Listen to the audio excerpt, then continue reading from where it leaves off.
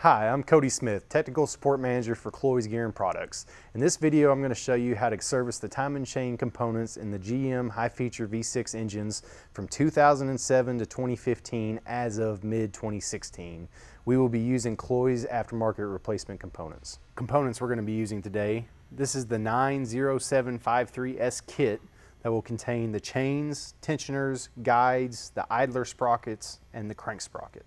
The timing component service of this engine can be done with the engine in the vehicle. To begin, remove the intake manifold, the camshaft covers, and the front engine cover to access the timing drives. Once the chain drives are accessible, rotate the engine to the stage 2 timing position. Align the crankshaft sprocket timing dot to the dot on the oil pump at about the 8 o'clock position. A key point about this application, the timing system is composed of three drive subsystems and uses two stages for timing alignment. Stage one aligns the left bank secondary and primary drive systems, and stage two aligns the right bank secondary drive system. Note, once the chains are removed, take care when rotating the shafts individually. This is an interference engine. We'll begin with the removal of the right bank secondary drive system remove the right bank secondary camshaft drive chain tensioner, tensioner guide, chain guide,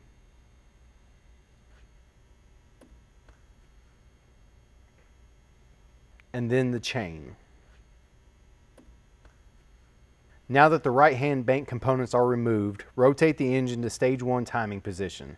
Align the timing mark on the crank sprocket to the timing mark on the oil pump at about the 5 o'clock position. Next, we are ready to remove the primary drive system.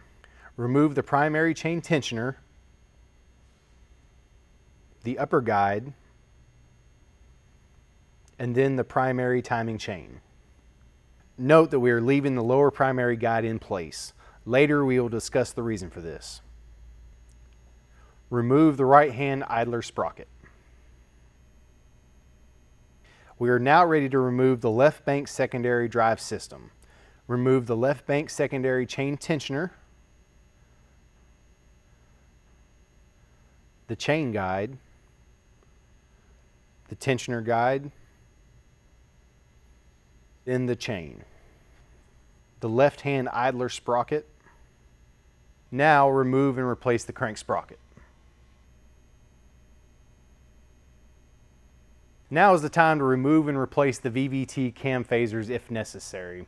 During the replacement of these phasers, use a wrench on the camshaft hex features to hold the shafts while removing and torquing the camshaft bolts. Retorque the new bolts to 43 foot-pounds. Before we start the installation, I have a few things to show you. All three timing chains have colored timing links. The two secondary will have two similarly marked links that align to the camshafts and the one unique marked link that aligns to each respective idler. The primary chain has three uniformly marked links that align to the two idlers and the crankshaft. The marked links on the primary chain are evenly spaced so alignment is symmetric. The tensioners are shipped in the deactivated state with the activation pins installed. They must be installed in this deactivated state or damage will occur. In the event of installing a tensioner that has already been activated, you must go through the deactivation procedure.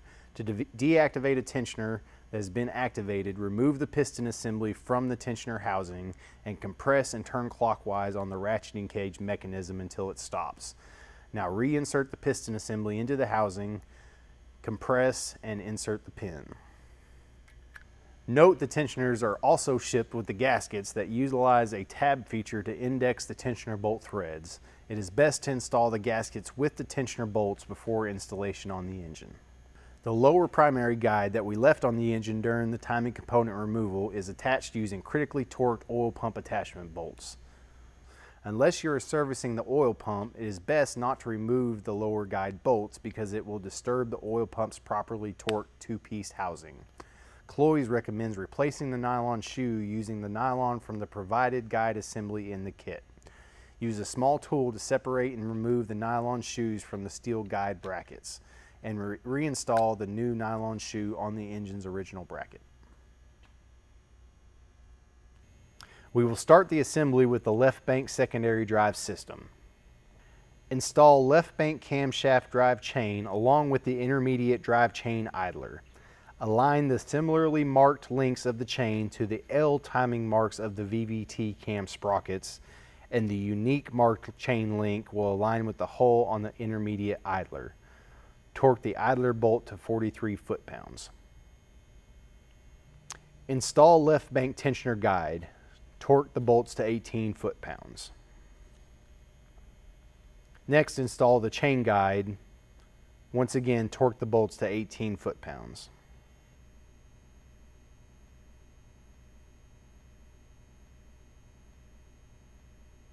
Install left bank secondary tensioner and install the attachment bolts to 18 foot-pounds. Recheck the timing alignment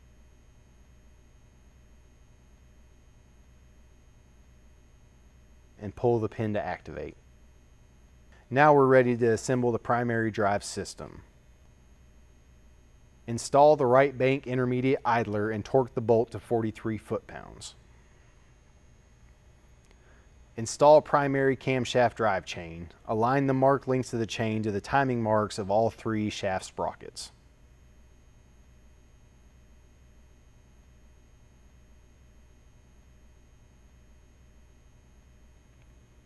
Install primary upper chain guide and torque the bolts to 18 foot-pounds.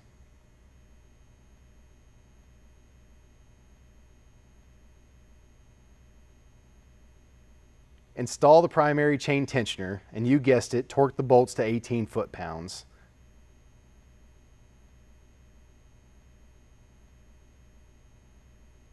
Verify the timing alignment once again and pull the pin to activate. Now with the left bank and primary systems assembled, we're ready to install the right bank components. You're going to want to first rotate the engine back to stage 2 timing position. Align the timing mark on the crank sprocket to the timing mark on the oil pump at about the 8 o'clock position. Install the right bank secondary chain.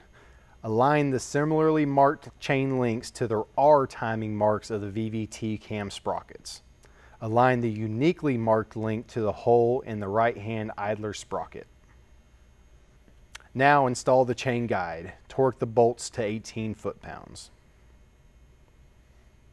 Install the tensioner guide torque the bolts to 18 foot-pounds.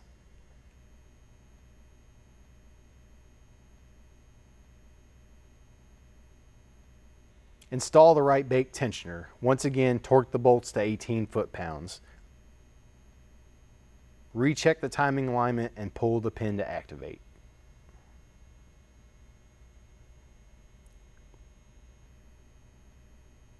You are now ready to reinstall your timing cover, camshaft covers, and intake plenum using the proper torque specs and tightening sequences. If you have any questions, please call our tech line. Please subscribe to our channel.